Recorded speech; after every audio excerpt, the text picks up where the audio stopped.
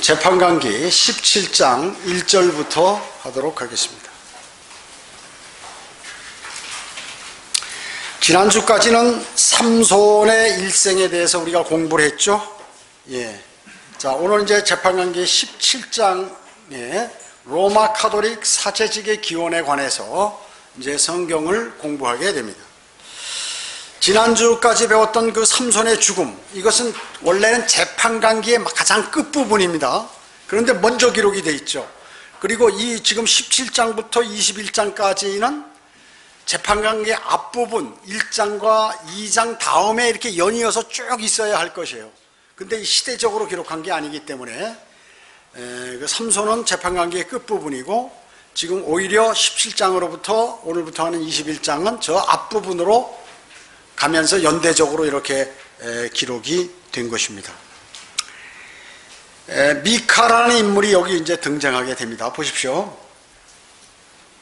여기 1절부터 보겠습니다. 에프라임 산지 한 사람이 있었는데 그의 이름은 미카더라. 그가 그의 어미에게 말하기를 어머니께서 취해간 어머니께로부터 취해간 은 1100세겔에 대하여 어머니께서 저주하시고 내 귀에도 말씀하셨는데 보소서. 그 은이 내게 있나이다. 내가 그것을 취하였나이다 하니 그의 어머니가 말하기를 내 아들아 내가 죽게 복받기를 원하노라 하더라. 그가 은 1100세계를 그의 어머니에게 돌려주니 그 어미가 말하기를 내가 내 아들을 위하여 이 은을 내 손에서 죽게 전부 들여서 색인 형상 하나와 더불어 어, 어, 하나와 부어 만든 형상 하나를 만들겠노라. 그러므로 이제 내가 그것을 네게 돌려주겠노라 하더라. 그러나 미카가 그 돈을 자기 어머니에게 돌려주니 그의 어머니가 은 200세케를 취하여 주물공에게 주어 그가 그것으로 새긴 형상과 부어 만든 형상을 만들었더니 그것들이 미카의 집에 있더라. 이 사람 미카에게는 한 신당이 있으므로 한 에봇과 드라빔을 만들어 그의 아들들 중 하나를 성결하게 하니 그가 그의 제사장이 되었더라 이렇게 말씀하고 있습니다. 자, 이 미카라는 인물은 팔레스타인의 그 중심부에 자리 잡고 있는 에프라임 산에 거주하고 있는 사람이에요. 그런데 이 북쪽에는 열 지파, 남쪽에는 두 개 지파가 있죠. 근데 아마 이 사람은 북쪽 지파의 에프라임이나 므낫세 지파 소속일 것이다. 이렇게 추측이 가는 것입니다. 그래서 이 미카가 지금 자기 어머니로부터 천백, 은 천백 세겔의 세겔을 훔쳤어요. 훔쳤다 그 얘기죠. 아들이 어머니 거를 훔친 거예요. 어머니 재산을. 그러니까 아, 이제 그 자기 어머 그런데 이제 그것이 자기 어머니에게 그것을 자백하고 어, 이제 그 돈을 다시 돌려주게 되는 것입니다. 왜냐하면 이절에 보면 에, 그 은을 잃어버리고 나서 어머니가 아, 미카의 어머니는 저주를 했다. 이거 훔쳐간 사람 저주 받으라고 이렇게 하는 거예요. 그래서 아, 이 성경을 통해서 보면 맹세를 통하여 하나님의 저주가 있다 하는 것을 우리는 알 수가 있죠. 예. 그러니까 저주를 하니까 미카가 뜨끔했겠죠. 자기 아들이 그 얘기를 듣고 그러니까 미카가 아, 저주가 부담이 돼가지고 그것을 이제 결국 돈을 돌려주게 되는 것입니다. 그런데 돈을 돌려받은 어머니가 자기가 저주를 했는데 보니까 자기 아들이라 그 얘기죠. 자기 아들이에요. 그걸 안 되잖아 아들이 저주받으면. 그러니까 다시 내가 주께 복받기를 원하느라 내가 이 은을 네 손에 내 손에서 죽게 전부 내가 이거 어차피 잃어버린 거니까 주님께 다 드리겠다 그 얘기죠. 전부 드려서 전부라고 그래 전부. 전부 드린다 그 얘기죠. 자 이렇게 얘기하는 거예요. 그런데 자 어떻습니까? 어머니가 대단히 경건한 것 같. 죽게 드린다는 거예요. 하나님께 드린다는 건데 이걸 가지고 형상을 만들더라 그 얘기죠. 예? 그러니까 경건한 것 같지만 이 어머니나 이 미카의 행위는 마귀적이다 그 얘기죠. 주님께 바친 돈에 대해서 색인 형상 색인 형상, 곧 우상을 만들기 위해서 어, 지금 이, 이것을 이제 사용하겠다 그 얘기죠. 그러니까 십계명에 위배되는 거죠. 십계명에 구약 십계명에. 여러분 어떻습니까? 로마 카톨릭이에요. 하나님과 예수 그리스도를 믿는다고 하면서 마리아상 또 예수 그리스도상, 또 아기 예수상, 뭐 이런 거 많이 만들어 놓잖아요. 형상들을. 그리고 어, 피에타상. 여러분 바티칸 그 바티칸의 그 베드로 대성당에 들어가 보면은 떡 들어가면서 진입로 우측 측방에다가 그, 어, 이 미에, 피에타 상을 거기다 이렇게 해서 마리아가 죽은 예수님을 이렇게 안고 있는 거. 어마어마하게 커요, 그 상이. 그러니까 예배 드리는 장소에 저 뒤쪽에다 그거를 딱 설치해 놓은 거예요. 그 조각가들의 그 어, 조각을 거기다가 우상이죠, 우상. 피에타상이라든지. 그 다음에 십자가에 못 박힌 예수상. 그 십자가를 여기 예수님을 십자가에 못 박혀 있는 그 상을 딱 걸어 놓잖아요. 그 다음에 예수님의 성스러운 심장, 예수님의 심장, 그뿐만 아니라 경배를 드리기 위한 여러 가지 도구들 있잖아요. 성인, 또 성인들의 이미지, 막 사진 같은 것들을 이렇게 성인들의 그 형상이라든지 이런 것들을 그 성당 안에 예배 드리는 장소 안에 그걸 다 이렇게 그려놓고 조각들을 막 그 이상한 형상들의 조각들을 그 거기에다가 어, 미술 예술 작품이라고 말이죠. 거기다 그렇게 하나님을 찬양한다고 그렇게 붙여놨다 그 얘기죠. 그래서 로마 카톨릭은 아주 경건한 위선, 아주 그것을 그 위선을 위선이면서 그것을 위장해 버린다 그 얘기죠. 그래서 형상들을 존중하고 공경하는 그러한 종교라고 하는 것이죠. 그래서 그런데 그들이 그것을 그냥 다만 공경하고 존경할 뿐이지 그 형상에게 경배는 하는 거 아니다 이렇게 주장을 하는데 실제 그렇지 않아요. 주님께서는 성경에 어떠한 형상도 만들지 말고 거기에 절하지도 말라고 그랬죠. 그런데 이렇게 형상을 만들어 놓은 것이에요. 여기 사설에 보면요. 여기 1100세겔 중에서 200세겔을 주물공에게 주어서 그것을 우상을 만들기, 우상 작업을 하게 했다 그 얘기죠. 그런데 뭐라고 그랬어요? 5절에 보면. 아, 예, 그, 저, 그, 원래 이것을 전부 드리겠다고 그랬죠? 전부. 어, 하나님께 전부 드리겠다고 그랬어요. 그러니까 아들이 그걸 이제 솔직하게 에, 내가 훔쳐갔습니다. 어머니 가지세요. 그러니까 아, 아들아, 그러면 내가 이것을 전부 하나님께 드려가지고 내가 아, 사용하도록 하겠다. 이렇게 했는데 다 빼고 말이죠. 200세켈만 여기서 어, 주물공에게 준 거죠. 900세계를 속인 거죠. 물론 여기 5절에 보면 에복과 트라빈도 사야 되고 10절에 보면 제사장에게 주는 비용도 써야 되겠죠. 그러나 엄밀하게 보면 하여튼 하나님을 속인 거예요. 거짓말한 거죠. 세상은 말이죠. 인간적인 발상으로 우상을 만들고 섬기는 것이에요. 그렇잖아요. 우상을 만들. 세상 밖에 나가 보세요. 이상한 형상들, 절이라든지 무슨 뭐 이슬람 사원이라든지 힌두교 사원이라든지 이런 곳에 사람이 많이 모이고 그들이 돈을 많이 벌려면 뭐예요? 이상한 형상들을 많이 만들어 놓으면 많이 오는 것입니다. 여기 저 그 음성에도 가보면 미타사 여성들만 있는 그곳에 보면 아, 거기 큰 불상을 세워놨죠. 지옥을 지키는 불상이에요. 거기에 금이 얼마나 많이 들어갔는지 몰라요. 금이.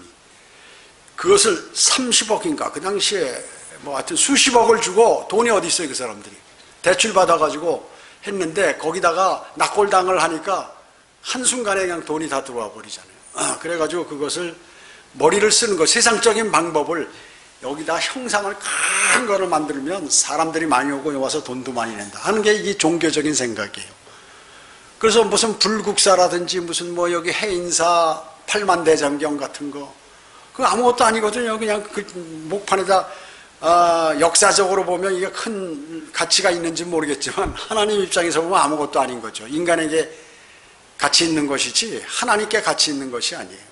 속리산에도 보면 말이죠. 큰 불상들 많이 있잖아요. 그러면 사람들이 많이 오는 거예요.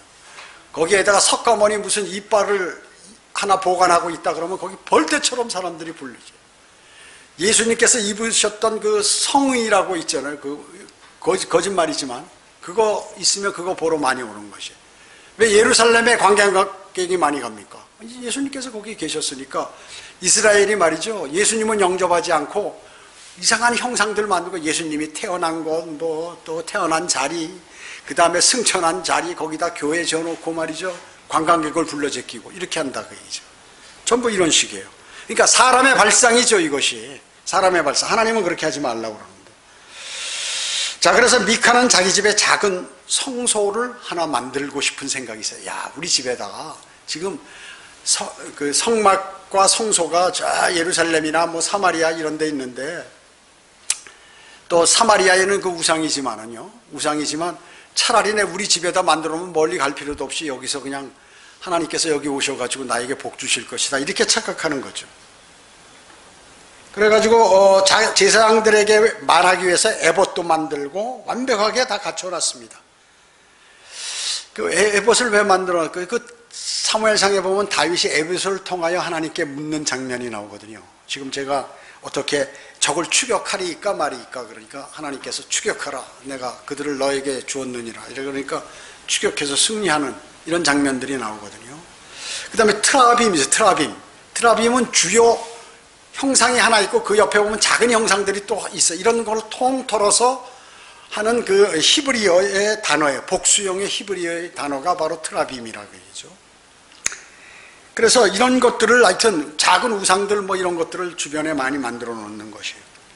그래서 특히나 이 동양에는 각 집마다 이런 것들을 많이 만들어 놓은 그러한 아, 모습들을 볼 수가 있어요. 우상을 진열장 위에다 딱 아주 쉽게 얘기하면 만들어 모셔 놓는다고 그러죠. 그래가지고 아무도 그 손 안 대고 무슨 일이 있을 때는 거기 가서 비는 거예요. 소원을 비는 것이. 어리석죠, 사람이. 자, 이런 것들의 로마 형태가 있죠. 거창하게. 로마에 가면 파테온 신전이라고 있습니다. 거대하게. 에, 이것은 이제 BC 27년에 아그리빠가 만든 것인데, 그 여러 가지 그 신들, 올림푸스의 신들에게 제사하는 그러한 장소예요, 거기가. 근데 지금 관광객을 많이 유치하고 있죠. 모든 신들이 거기 들어와서. 그래서 거, 기에서 나온 그러한 그 풍습들이 말이죠. 그, 어, 지금 많이 예, 전 세계적으로 퍼진 거예요. 지금 이번 월요일부터 뭐 이태원에서 헬로윈 데이라고 말이죠. 해가지고 원래 11월 1일인데 그 10월 31일 날 밤에 막 하는 건데 지금 기간을 많이 길어가지고 이 장사들이 거기에 또 개입을 해가지고 말이죠. 이상한 괴물 형태나 마개 형태 가면들을 쓰고 가서 밥 얻어먹고 뭐 과자 달라고 그러고 이렇게 한다 그 얘기죠. 이런 것들이 다 어, 이런 어, 데서 나온 것이에요. 그러니까 인간의 발생에서 이렇게 하면 복을 받을 것이다. 어, 우리가 이렇게 신들에게 제사를 하면 우리에게 해코지 안 하고 우리에게 복을 준다. 이렇게 생각하고 있는 것입니다. 그래서 마찬가지로 이, 런 풍습이 이렇게 지금부터 약 한 천, BC 1400년경부터 이렇게 벌써 이런 일들이 벌어지게 되었던 것이죠. 아, 믿지 않는 이교도들은 어떻습니까? 예수님이나 여호야 하나님을 그러한 진열장에 넣어놓고 이렇게 하는 거예요. 여러분 카톨릭 교도들 보면 집에 십자가 위에 그 예수 그리스도 이렇게 상을 하고 마리아 상 그래서 거기다 조명까지 비춰놓는 사람들이 있어요. 왜냐하면 그 성당에서 다 그렇게 하니까 이왕이면 우리 집에도 하나 만들어 놓으면 이거 복을 받겠다. 그뿐만 아니에요. 자동차에도 마리아 상을 딱 달고 다니는 사람들이 있어요. 거기다 묵주 붙이고 다니는 사람, 뭐 별의별 사람들에 십자가 달고 다니는 사람, 별의별 사람이 다 있죠. 그래서 예수님을 마치 이 세상 사람들은 부처라든지 무슨 예, 뭐 주피터라든지 바알이라든지 알라라든지 이런 신하고 동일시하는 거예요. 예수님을, 예수 그리스도를.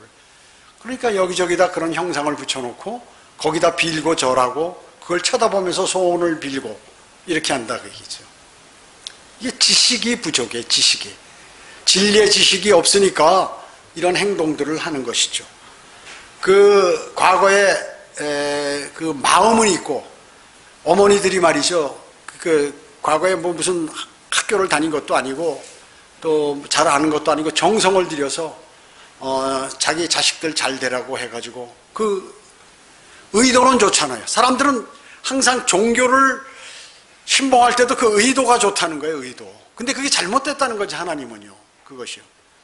내 아들의 성공을 빈다 해서 뭐 장독대에서 빌기도 하고 큰 나무에 가서 거기다 나무 신이 있는 줄 알고 빌기도 하고 뭐 별짓을 해 부적을 써서 벽에 밑에다 집어넣고 이런 일들을 많이 하잖아요 옛날부터 그 잘못된 거죠. 잘못된 거.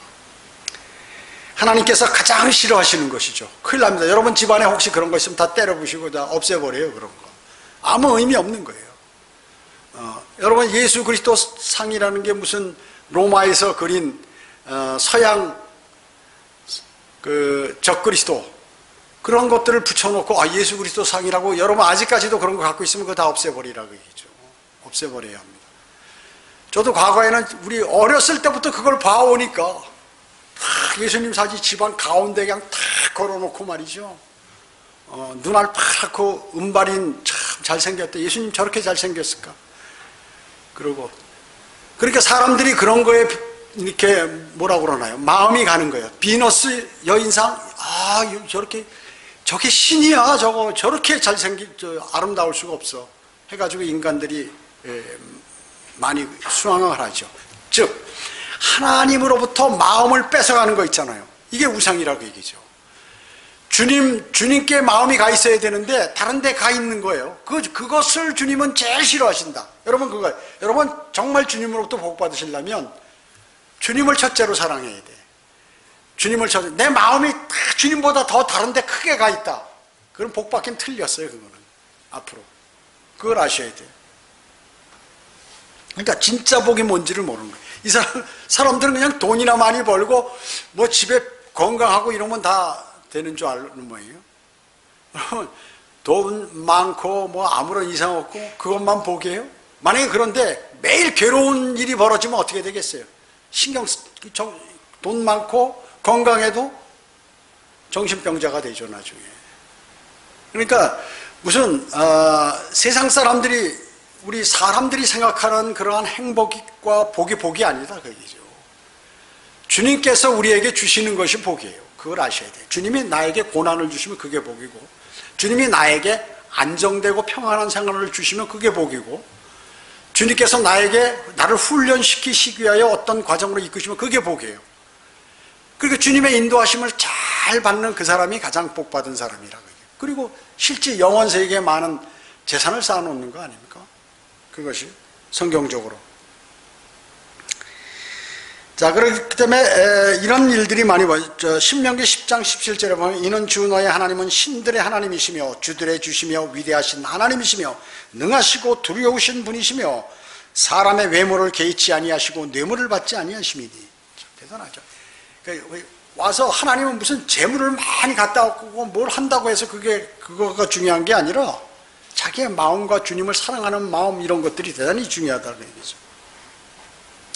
자, 방광기 여기 17장 5절에 보면 그의 아들 중 하나를 성결케 하니 그가 그의 제사장이 되었더라. 자, 자기가 제사장 만드는 거야. 자, 제사장은 누가 하나님께서 이렇게 하도록 돼 있잖아요. 레위 지파 가운데. 근데 이 사람 자기 레위 지파도 아닌데 자기 아들 중에 야 우리 집안에 이제 뭐 이렇게 뭐 하나 뭐 성소 같은 걸 만들었으면 좋겠는데 그럼 제사장이 있어야 되잖아. 아, 우리 아들 중에서 하나 제사장 내가 시키면 되겠지. 이렇게 하는 것이죠. 그러니까 미카는 이 북왕국 창 설립했던 여로보암과 같은 그러한 거짓 제사장직을 만들었어요. 여로보암이 어떻게 했습니까? 레위 지파의 제사장이 아니라 가장 백성 가운데 낮은 사람을 제사장으로 임명했죠. 그러니까 하나님의 율법에 위배된 거예요. 하나님의 백성이. 어떻게 되겠습니까? 반드시 멸망하죠. 멸망하죠. 여러분 로마 카톨릭 신부 때 가운이 있잖아요. 가운 시커먼 거. 망토. 드라큘라 망토 같은 거. 제사장의 망토예요 말하자면. 가운. 가운. 헬로윈 복장이라고 그래요. 헬로윈 복장. 이상한 모자 쓰고 까만 망토 입고 말이죠. 뭐 이렇게 하는 거. 그리고 어, 빵과 포도주를 어, 살과 피로 바꾼다고 자기가 그렇게 난리 기도하면 난리를 치는 거죠. 거짓말 새빨간 거짓말. 제 무슨 마술사예요? 마술사예요? 자신이나 다른 바알 숭배자에게 죄를 자백, 자백하지 않으면 죄를 용보, 용서 받을 수 없다고 얘기하는 그러한 주장하는 그런 사람들과 마찬가지예요. 그래서 신부나 이런 사람들은 미카의 아들만큼 불법적인 그러한 사람들이라고 얘기죠. 하나님의 사람들이 아니에요, 어, 그래서 아무런 권위도 없는 거짓 선지자를 지금 만드는 것이에요. 지금 미카도 마찬가지고. 에, 베드로전서 2장 5절은 그러니까 로마 카톨릭은 대단히 어리석습니다.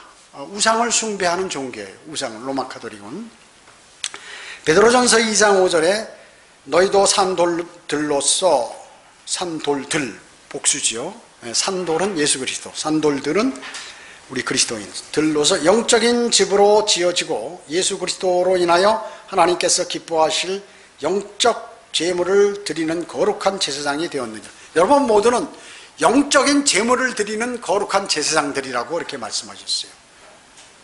영적인 집이 뭐예요? 하나님의 거처가 되는 성전이 영적인 집이죠. 여러분 자신이 영적인 집이에요. 그리고 성도들은 이 영적인 집을 지어서 올라가는 산돌들이라 살아있는 돌들이라 그 얘기죠. 그리고 그리스도인은 영적인 제물을 드리는 거룩한 제사장이에요, 여러분은. 영적인 제물이 뭔가요? 찬양이라든지 감사라든지 그 다음에 선을 행하는 것. 선을 행하는 게 이 선이라는 것은요, 하나님 입장에서 선을 행하는 거예요. 그럼 어떤 게 선을 행하는 것인가? 여러분들이 복음과 진리를 전파하는 것. 지옥으로 갈 사람, 멸망으로 갈 사람을 하나님의 아들들로 만들고 하늘나라로 가게 만드는 것. 이런 것이 선, 선한 일이거든요. 그리고 진리를 잘 모르는 사람에게 그 진리를 아리켜 전달해 줘서 어, 그 사람이 그 진리를 알게 하는 것. 이런 것들이 선한 일들. 이것이 바로 여러분들이 하나님께 영적인 제물을 드리는 거예요. 매일 하나님의 말씀을 묵상하고 그것을 아멘으로 화답하며 자기가 그대로 자기 마음에 새기고 이런 것들이 전부 영적인 제물을 드리는 것입니다. 여기 저 하나 꺼주세요. 이거 너무 더, 더우니까 좀 저기 한데요. 네. 자, 이러한 것들이 여러분은 정말 그래서 차, 여러분이 드리는 그 마음에 우러나는 그런 찬양 그리고 주님께서 나에게 주신 은혜에 감사하는 그 매일 감사의 생활 그 다음에 그 선한 일들, 복음과 진리를 전파하고 하나님의 지역교회 사역에 동참하고 하는 모든 이런 일들, 이런 것들이 선한 일들이라고 얘기죠. 그, 여러분, 그 재물을 하나님께 잘 드리고 있는 것입니다. 6절 보겠습니다. 여기 6절. 그 당시 이스라엘에 왕이 없었고 사람마다 자기 눈에 옳은 대로 행하였더라. 예. 이때는 사울과 다윗 왕 전이죠. 이건 전입니다. 그래서 중앙 정부가 없어요. 그렇기 때문에 제사장들이 본분을 잘 지켜야 되는데 그 제사장들이 제사장 임무를 제대로 수행하지 못하는 거예요. 어, 제 멋대로 하는 것이에요. 그 율법을 가르치지 않고 자기 자신도 그 율법을 지키지 않고 이렇 단 말이죠. 그래서 제사장들조차 이런 일들을 하지 않음으로써 어느 누구도 성경에 있는 그러한 일들을 행하는 사람들이 별로 없었다 그 얘기죠. 그래서 모두가 어때요? 자기 기준대로. 지금 미카와 같이 아, 내 아들 제사장 만들고 내 집에다가 뭐 형상을 하나 만들고 이게 하나님이다 하고 그러면 하나님이 나한테 복 주겠다. 이렇게 생각하는 거예요. 무식하죠. 무식해. 그래서 모두가 자기 기준대로 생각한 것이 하나님 기준이 아니라. 그래서 도덕적인 무정부주의적이고 그냥 어, 혼란 상태만 계속되었다 그 얘기죠. 자, 이러할 때 하나님께서 한 민족에게 내릴 수 있는 최고의 징벌이 뭔지 아세요? 그리스도인도 마찬가지. 하나님께서 그리스도인을 벌 주기 위해서 그 하는 최고의 그 징계가 뭔지 아세요? 놔둬 버리는 것이 관여 안 하는 것. 하나님께서 이스라엘이 잘못하는 길이 있으면 무슨 선지자를 통해서 아니면 무슨 일을 벌려 가지고 그걸 막으셔야 되는데 안 막어. 워낙에 막 그냥 전부 다 나쁜 짓 하니까 그냥 그래? 그럼 너 할 대로 해봐라. 하나님께서 입을 딱 닫으시는 거예요. 그러면 어떻게 됩니까? 비참해지는 거죠. 내버려 두시는 거예요. 이것이 바로 한 민족에게 내릴 수 있는 가장 최악의 형벌이다 그 얘기죠. 최악의 형벌이에요. 그러면 하나님께서 한 민족을 방치하시면 어떻게 될까요? 계속해서 악화되다가 어째요? 비참하게 돼버리는 거죠. 나중에 이제 종이 되는 거죠. 다른 나라에. 죽는 거예요, 말하자면. 그러니까 고생 실컷 하고 나중에 죽는 거. 이거예요. 만일 여러분이 잘못을 행하고 있는데도 하나님께서 여러분에게 징계, 어떠한 징계도 안 내린다, 나에게. 하나님께서 뭐라고 나에게 말씀도 안 하시고, 나에게 간섭도 안 하시고, 내가 하는 대로 그냥 놔둬버린다. 그럼 그 사람 어떨까요? 구원받, 구원을 한번 다시 한번 점검해 봐야죠. 아, 내가 이거 구원받은 건가? 구원받은 건가요? 히브리서 12장 8절 모든 사람들이 참여하는 징계를 너희가 받지 않는다면 너희는 사생하여 친아들이 아니니라. 아, 그리스도인이 잘못하는데 징계가 없어. 하나님께서 그냥 놔둬버리는 거야. 그러면 구원받았어도 더 큰 벌을 받게 하시려고 하는 건지 아니면 구원을 안 받아서 하나님과 관계가 없기 때문에 안 하시는 건지 그 둘 중에 하나라고 얘기죠. 둘 중에 하나예요.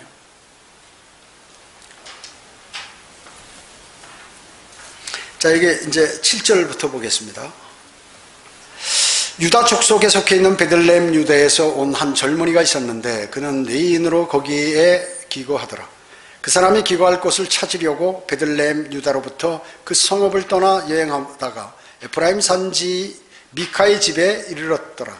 미카가 그에게 말하기를 너는 어디서 오느냐 하니 그가 미카에게 말하기를 나는 베들레헴 유다의 레위인으로 내가 기거할 장소를 찾으러 가노라 하니 이렇게 얘기했습니다.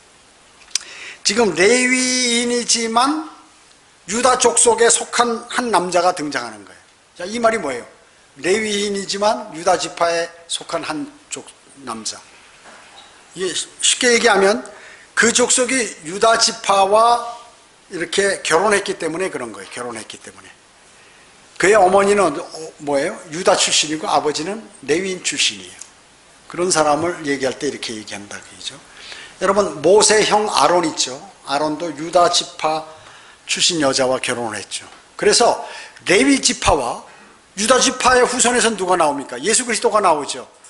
제사장 지파와 유다 지파가 아주 이렇게 좀 관계가 깊다 그 얘기죠. 예. 밀접한 관계가 있는데 그것은 예수 그리스도께서는 왕이시자 동시에 뭐예요? 대지세상이시기 때문에 그런 것이에요. 그거의 모형이에요. 그거의 모형이에요. 예. 왕이시자 동시에 대제사장. 제사장은 레이 지파이죠. 왕은 뭐예요? 유다 지파에서 왕이 나옵니다.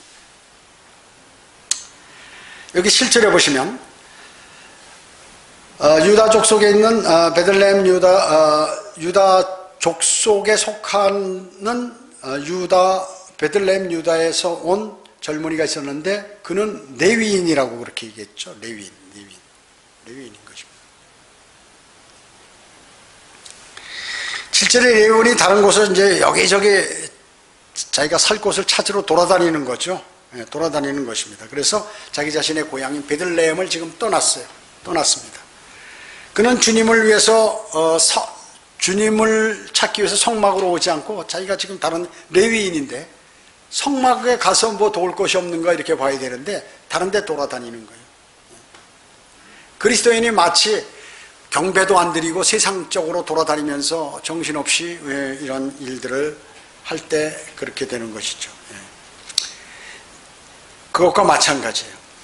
그래서 어, 떤 기회라도 잡, 있으면 자기가 잡아보겠다고 지금 이렇게 찾아다니는 것입니다. 그런데 그 사람이 어디에 도달하게 됩니까? 마치 그러니까 레위인이 성, 그 성막 근처에 있어야 되는데 돌아다니면 어떻게 이렇게 마귀의 집에 이제 연결되는 거예요. 그래서 미카의 신당으로 그가 오게 되는 것입니다. 5절에 보면.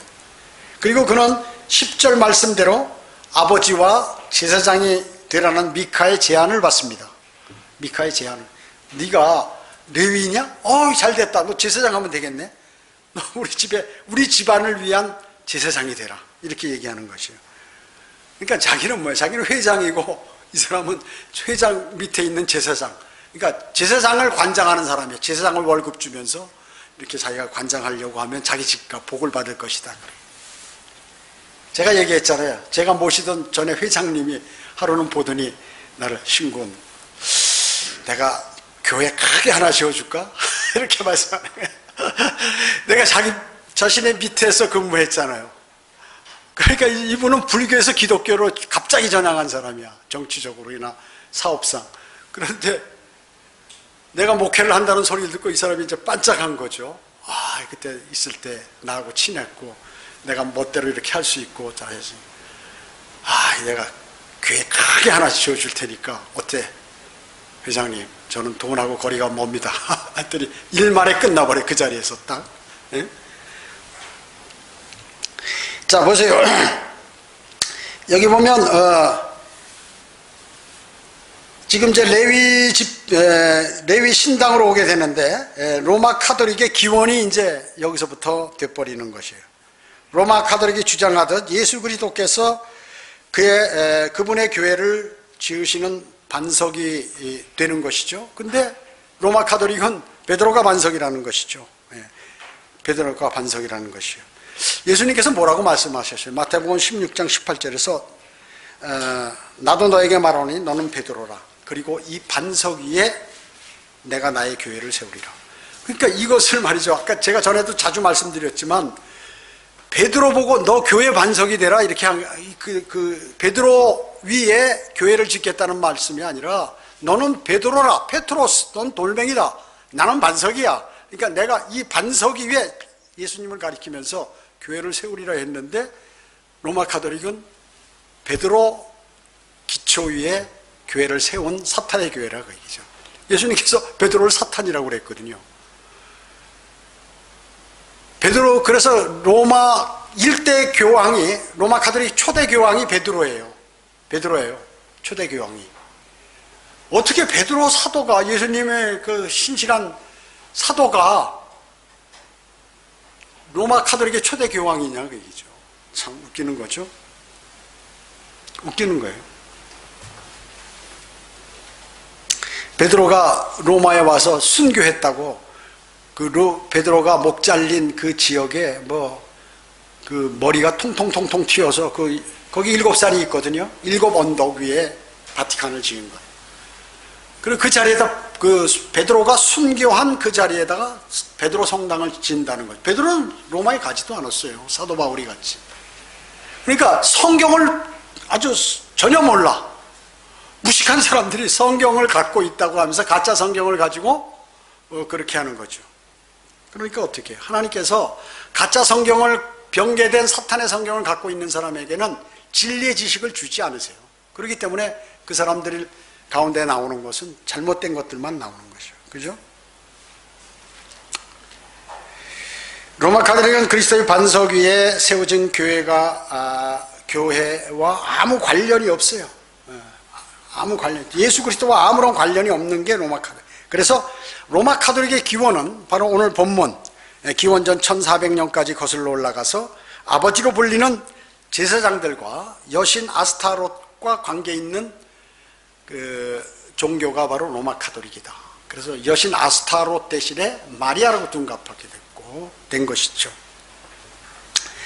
또 그것은 경배하는 도구로서 형상들 또 특별한 제의 예, 예복 같은 거 이런 것들을 그리고 주님이나 성경과는 전혀 관계없는 어, 취하는 알코올 음료를 이렇게 선택하죠. 그리고 가짜 반석과도 연관이 있습니다. 그래서 어, 로마 카톨릭에서 죄 만찬할 때 알코올기 있는 알코올기 있는 알코올기 있는 포도주를 사용한다.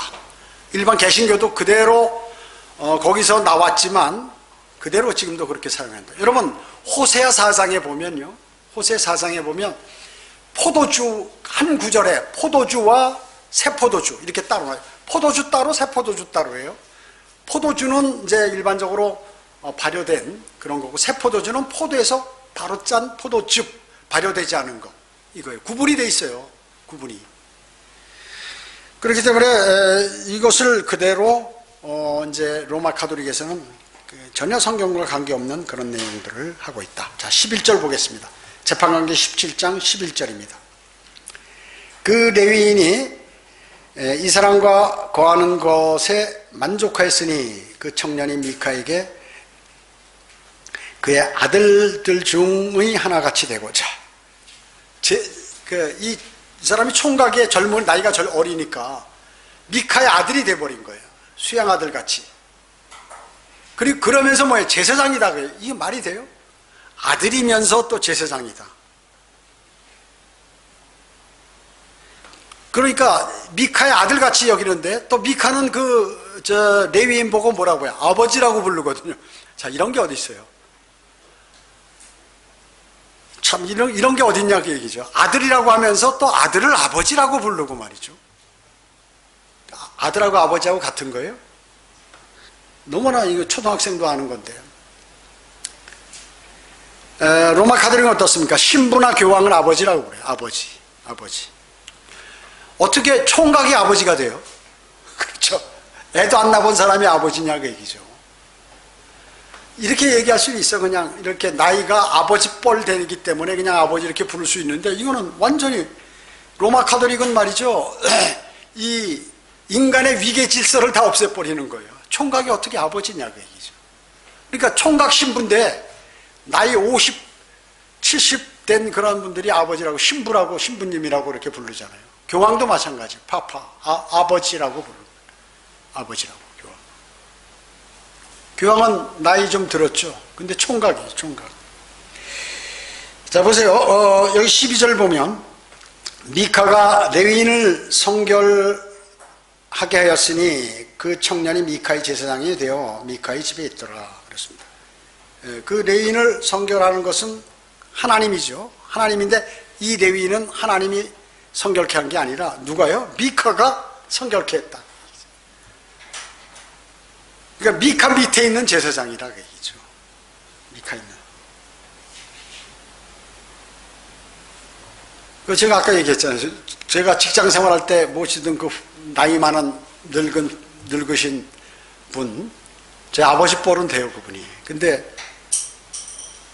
에, 나보고 교회를 지닌다는 것은 이제 자기 밑에 제사장식으로 이렇게 하나 두겠다 그 얘기예요. 그러면 내 사업도 잘 되고 좀 부자 되지 않겠나 이런 생각을 갖고 있는 것이 그렇게 살고 있는 것이죠. 자 여기 보면 레위인을 성결케 한 것은 하나님이 아니죠. 미카가 성결케 했죠. 예, 코라와 그의 무리들이 어땠어요? 모세를 반역했죠. 왜요? 내가 자기가 자기도 나는 우리도 한번 제사장 해보겠다 그 얘기죠. 제사장직을 강탈하려고 하다가 어떻게 됐어요? 비참하게 되어버렸죠. 예, 비참하게 됐어요. 그 제자들은 성막으로부터 불이 나와서 다 타 죽었죠. 다 타 죽었습니다. 13절 보겠습니다. 그때 미카가 말하기를 이제 레위인이 내게 제사장이 되었으니 주께서 내게 복 주실 것 주실 줄 아노라 하더라. 그러니까 지 생각이야 이게 자기 생각이야. 미카는 모든 것이 잘 될 것이라고 절대적으로 확신하고 있었어요. 확신하고 있었죠. 여로보암도 북왕국 여로보암도 제사장들을 자기 멋대로 만들어서 레위 지파가 아닌 사람으로 만들었죠. 이 미카는 자신의 제사장으로 일할 레위인이 생겼으므로 이제 자기는 이제 앞으로 앞길이 평탄할 것이다 이렇게 생각한 것입니다. 하지만 자신이 잘못된 제사장, 잘못된 성체, 그리고 잘못된 성소, 잘못된 형상, 그리고 잘못된 동기, 그리고 잘못된 신을 두었다는 것을 그는 몰랐어요. 그는 몰랐습니다. 그래서 많은 사람들이 이런 식으로 어, 하나님을 섬긴다든지 또 신을 섬긴다고 이렇게 하는 것입니다. 예. 그래서 무조건 신실하게 정성을 다해서 하면 되는 것으로 착각하는 것이에요. 우리가 경배 드릴 때 어떻게 드려요? 영과 진리로 경배 드리죠, 영과. 영. 하나님은 영이시기 때문에 그냥 육신적으로 막, 그 어디서 수많은 사람들이 목서 그냥 할렐루야 하면서 소리 지르고 크게 찬양하고 한다고 그, 그 경배가 아니라 그게 영으로 드린 영과 진리. 진리는 뭐예요? 바른 하나님의 말씀으로 예. 방언하지 말라는데 막 전부 중앙순복음교회 같이 수천 명이 말이죠 손 들고 방언하면서 예배 시작한다고 하면 그건 하나님께서 거기 계시냐 그 얘기죠. 화평의 하나님께서 질서의 하나님께서 그런 것들이 자기의 인간의 발상에 의한 그러한 어, 신이라는 것이죠. 로마 카톨릭 같이 아버지라는 용어를 종교 지도자에게 사용하는 것은 이방 종교로부터 왔고 마귀로부터 온 것이다. 마귀로부터 온 사탄적인 그러한 확신이다 하는 것이에요. 사탄적인 확신. 그래서 이 종교는 어디에? 페니키아 지방에서 생겨났죠? 투로와 시돈 지방. 그 페니키아의 여러분 어때요? 서양의 유럽이나 미국의 그 영어 알파벳 어디서 나왔어요? 페니키아에서 나왔어요. 페니키아. 그래서 처음에는 그들이 하나님을 섬기지만 영국과 미국이 나중에는 잘못된 길로 가게 돼 있는 것이에요. 그 미리 다 그렇게 하는 것이에요. 그렇기 때문에 하나님께서는 그 믿음을 신실하게 주님 오실 때까지 주님을 신뢰하고 그때까지 유지하는 게 중요한 것이지 중간에 가다가 변질되고 뭐 이렇게 버리면 의미가 없다 그 얘기죠. 어, 세상적인 방법에 의해서 처음에는 신실했었는데 미- 주님을 섬기고 그리스도인도 그러다가 어느 날 갑자기 여러 가지 환경에 조성돼 가지고 자신이 주님을 신실하게 섬기지 않고 별도의 생각을 갖고 있게 되면 안 된다 그죠 그리스도인도 대단히 중요한 것입니다. 대단히 중요한 것이에요. 기도드리겠습니다. 주님 감사합니다. 저희들은 오늘 에, 총각이며 아버지인 그러한 이단 집단의 에, 발생 그리고 로마 카톨릭의 사제직 기원에 관해서 하나님의 말씀을 공부했습니다. 이것은 대단히 중요합니다. 왜냐하면 이, 이런 내용들은 우리의 생활과 직접 관계가 있고 종교들과 관계 있기 때문에 저희는 이 재판관계 17장에 관한 내용을 정말로 영적으로 잘 받아들여서 이해하고 또 마음판에 새기고 그 확고한 진리로 우리 마음속에 각인시켜야 할 것입니다. 주님 이제 저희가 어, 하나님의 말씀을 공부하고 할 때마다 지혜를 주시고 조명을 주셔서 하나님의 말씀을 잘 알도록 인도해 주시기 원합니다. 하나님의 말씀을 알지 못하면 영적으로 성장하지 못하고 영적으로 성장하지 못하면 마귀의 휘하에 들어갈 수밖에 없습니다. 그리고 주님과는 멀어질 수밖에 없습니다. 주님 저희의 진리의 지식에 이를 수 있도록 저희를 인도해 주시기 원합니다. 은혜 감사드리오며 주 예수 그리스도의 이름으로 기도드립니다. 아멘.